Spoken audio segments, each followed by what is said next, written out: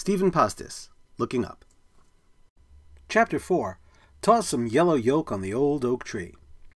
I know what you're going to say, which is that I promised my mother that if I went to the egg toss, I would be a good sport. But technically, that's not correct, because one, I hadn't sworn on the pinata's head, and two, seeing those happy kids with their parents was more than any reasonable person could take. Because for one thing, Punches was my store, not theirs. And for another, their only qualification to even be in this contest was that they had a parent who didn't work Saturdays.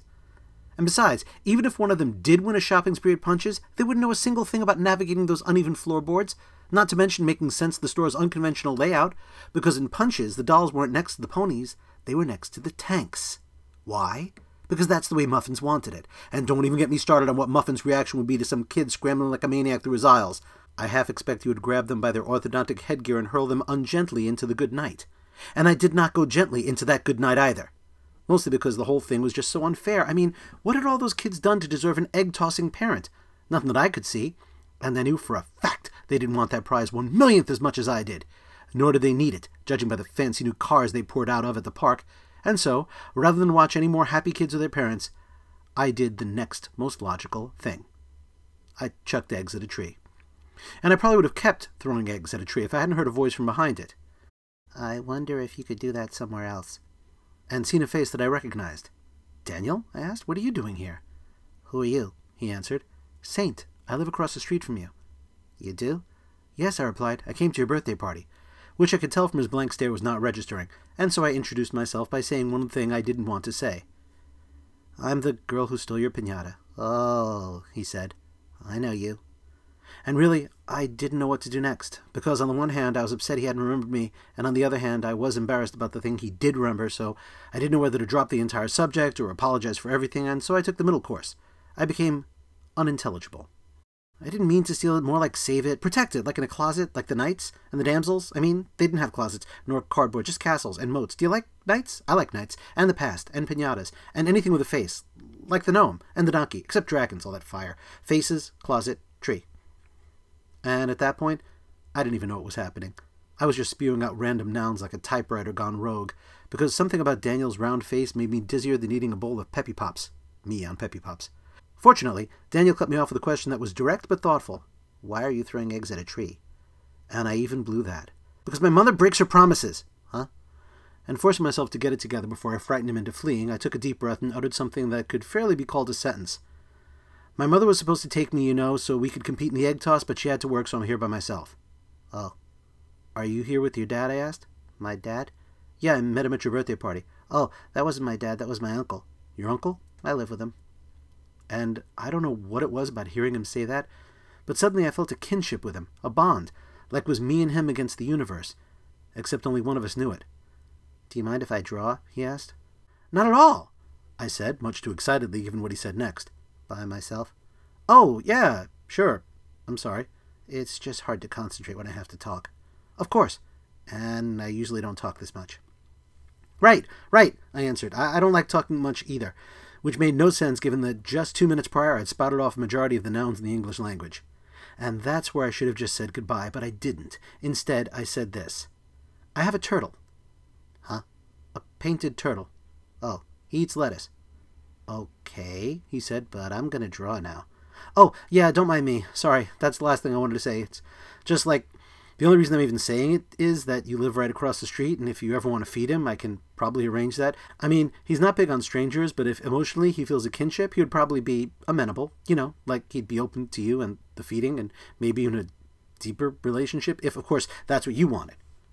Right, he answered and it was then that I saw his drawing of an oak tree, Spanish moss hanging from its branches like the uncombed hair of an old woman, and I was just about to tell him it was the most beautiful drawing I'd ever seen, when suddenly I noticed something else on the drawing. Egg yolk, which must have splattered onto the canvas from one of my many throws, smearing every bit of ink it touched.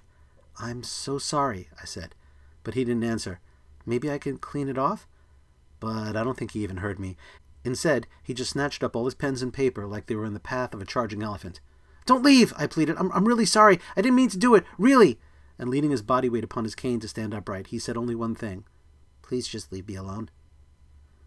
Chapter 5 Unpromised Land. The only reason I didn't cry all the way home was that my mother picked me up from the park and I didn't want to have to explain all the dumb things I'd done. Plus, she had a surprise. The reason I picked you up is to take you to Mrs. Trifaldi's house. Old Lady Trifaldi's house? What for? She's having a party. She's having a party? Yeah, why does that seem odd to you? And it did, because for one thing, Old Lady Trifaldi lived in one of the oldest homes in our neighborhood. Mrs. Trifaldi's house.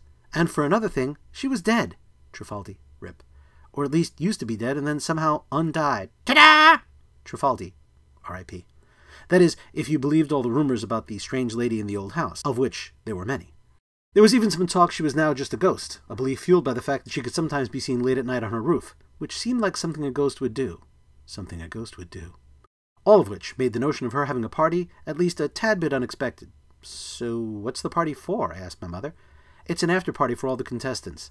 The egg tossed contestants? Yep. But I wasn't a contestant, I said. Well, it's not just for the contestants, it's for everyone. I think she wants to do something nice for the neighborhood. Are you going with me? I can't. I just left the meeting I was at to pick you up, but I gotta get back to it. So the party's not really for everyone. Let's not do this again, Saint. You're gonna have a great time. But I was still upset over my mother not participating in the egg toss, not to mention what had happened with Daniel, and so I said, I'm not going. Saint, you told me yourself you always wanted to see the inside of her house. You like old houses. And besides, she's selling it, so if you don't see it now, you probably never will. Why? Who's going to live in it after?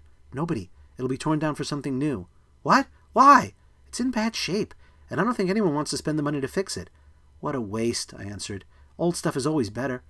But my mother wasn't listening, because just as I said it, her old car coughed twice and died, and whenever that happened, she had to pull it over and give it a few moments of rest, like it was an old tired pony.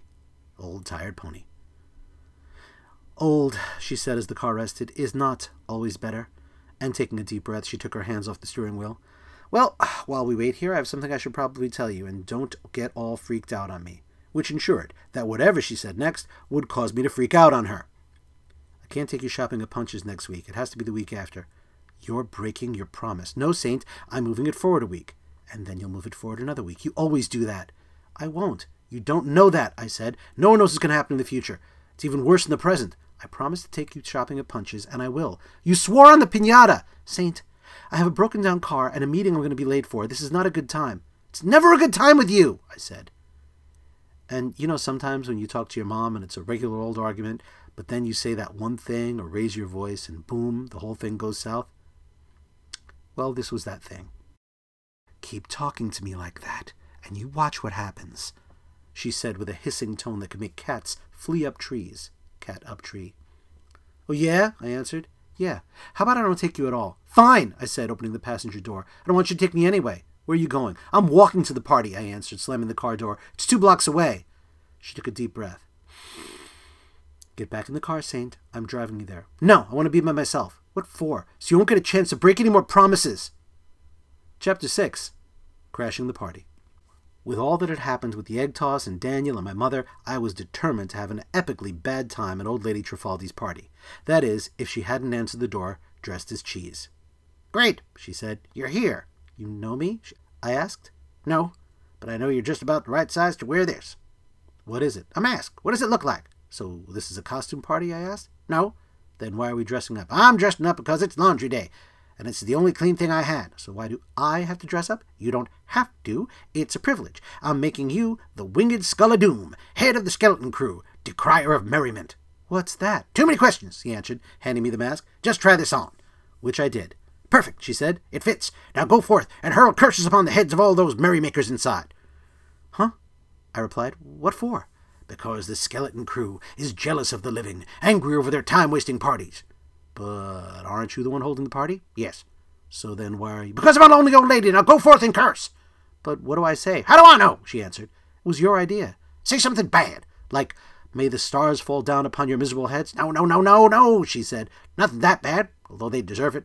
Because they're miserable people? They are? she asked. Well, you said they deserve it. Yes, but I don't know if they're miserable. I just know they're new to the neighborhood, and I don't like new people. I'm old. I don't like change.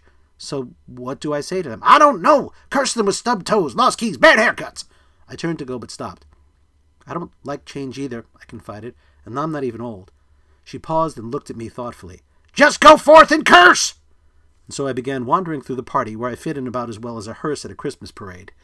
And without the heart to hurl curses upon people I barely knew, I chose instead to explore old Lady Trifaldi's home, stopping in her parlor, mostly because it had no people, but also because it had a large portrait of her.